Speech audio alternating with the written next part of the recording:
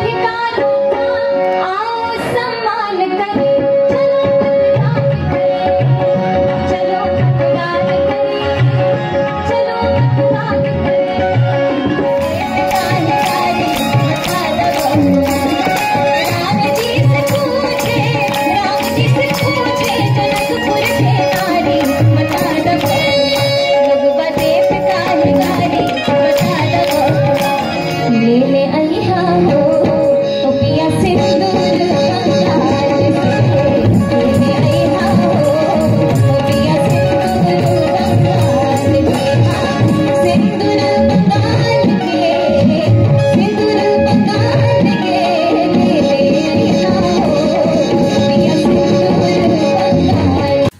बिहार में लोकसभा के दूसरे चरण के चुनाव को लेकर जहाँ एक तरफ़ राजनीतिक पार्टियाँ पूरे जोरों शोरों से चुनाव प्रचार में जुटी हैं, तो वहीं दूसरी ओर रेशम नगरी भागलपुर में बिहार स्टेट आइकॉन और मशहूर लोकप्रिय गायिका मैथिली ठाकुर ने मतदाताओं में जोश भरते हुए अपने अधिकारियों का आओ सम्मान करें चलो मतदान करें के साथ मिथिला नगरिया निहाल सखिया चारों दूल्हा में बड़का कमाल सखिया गीत गाकर लोगों का दिल जीत लिया।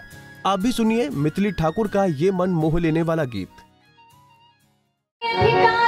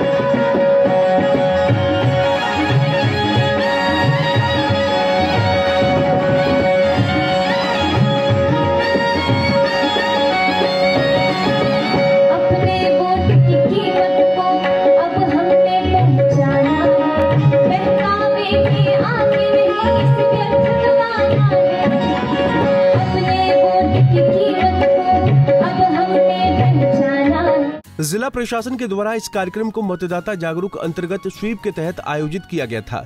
इस दौरान उन्होंने लोगों से अधिक से अधिक संख्या में मतदान केंद्र जाकर वोट डालने की अपील की। तो वहीं मैथिली ठाकुर ने मतदाता जागरूकता कार्यक्रम को लेकर प्रशासनिक अधिकारियों की पहल की सराहना करते हुए कहा कि हम सभी के लिए 26 अप्रैल का दिन काफ़ी बड़ा दिन है। मतदाता को जागरूक करने के उद्देश्य से ही मैं यहाँ आया हूँ। मेरा भी सौभाग्य है कि मैं भी देश के इस सबसे बड़े महापर्व में पहली बार हिस्सा लूँगी और अपना वोट डालूँगी। भागलपुर में सबसे अधिक मतदान का प्रतिशत रहा तो फिर आऊँगी और आपको गीत सुनाऊँगी। तो आज मेरा आने का मकसद कोई लाइव कॉन्सर्ट नहीं है, बस ये है कि हम लोग एक मतदाता जागरूकता कार्यक्रम एक एक जगह एकत्रित हुए हैं और 26 अप्रैल हम सभी के लिए बड़ा दिन है। लोकतंत्र का महात्योहार हम सभी को बढ़ चढ़ कर मनाना है और मेरे लिए खास बात इसी है क्योंकि मैं भी पहली बार इस बार वोट देने जा रही हूँ। तो काफ़ी खुशी हो रही है कि बहुत सारे यंग वोटर्स भी हैं यहाँ पे और मैं भी उनमें से एक हूँ आप में से एक हूँ। वहीं कार्यक्रम के दौरान जिला अधिकारी नवल किशोर चौधरी ने लोगों को मतदान के लिए जागरूक करते हुए कहा कि बिहार की बेटी ने राज्य और देश का मान बढ़ाया है। मैथिली ठाकुर ने जो जिम्मा उठाया है, उसे साकार करने की ज़िम्मेदारी आप लोगों की है। इस ज़िम्मेदारी को सफल बनाकर इस बेटी का मान और भागलपुर का मान बढ़ाएँ। 26 अप्रैल को सुबह सात बजे से शाम के छह बजे तक मतदान में इतना अधिक हिस्सा लें कि 26 तारीख का दिन सबसे अधिक मतदान के लिए भागलपुर का नाम सब लोग लें। इसके साथ ही जिला अधिकारी ने युवाओं से आह्वान किया कि अगर आप ठान लें तो कुछ भी असंभव कार्य संभव हो जाएगा। संध्या पे बिहार की बेटी सुश्री मैथिली ठाकुर जी उपस्थित हैं। सबसे पहले उनके नाम पे जोरदार तालियाँ हो जाए। मज़ा नहीं आया। ये लग नहीं रहा भागलपुर की ताली है। जोरदार ताली हो।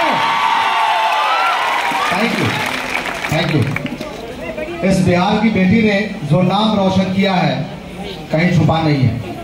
और मैं यही कहूँगा कि इस बिहार की बेटी ने अब जिम्मा उठाया है कि बिहार को हम निचले पैदान पे रहने नहीं देंगे।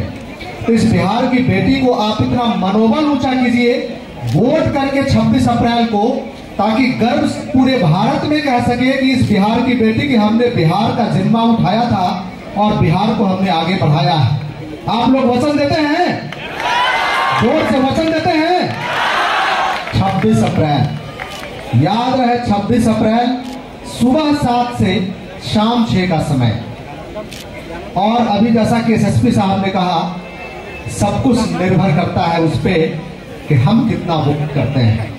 और मैं यही आग्रह करूँगा आप सभी से कि बूथ पे सारी सुविधाएँ हैं। मेरी पूरी टीम म्यूनिसिपल कमिश्नर साहब डीडीसी साहब, उनके अधीनस्थ समस्त अधिकारीगण, समस्त एसडीओ डीसीएलआर समस्त वीडियो इस धुन में लगे हैं। इधर एसपी आनंद कुमार ने कहा कि राष्ट्रीय पटल पर मैथिली ठाकुर ने नाम रोशन करने का काम किया है। तीन दिन बाद चुनाव होना है। चुनाव को लेकर पूरी व्यवस्था की जा रही है। एक अच्छे मॉनिटर के चुनाव के लिए मतदान में ज़रूर भाग लें और इतना वोट करें कि इतिहास बन जाए। भय मुक्त वोटिंग के लिए जिला प्रशासन और पुलिस प्रशासन पूरी तरह मुस्तैद है। घर से निकलें और मतदान ज़रूर करें। Thank you.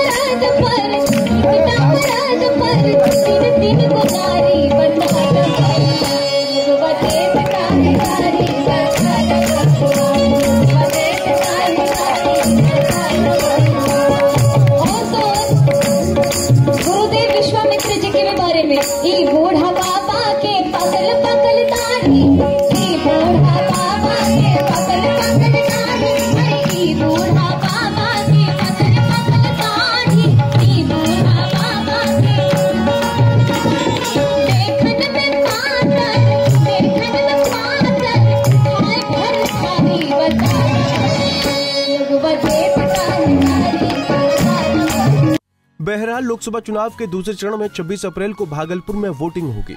Punjab Kesari TV के लिए भागलपुर से अंजनी कुमार कश्यप की रिपोर्ट।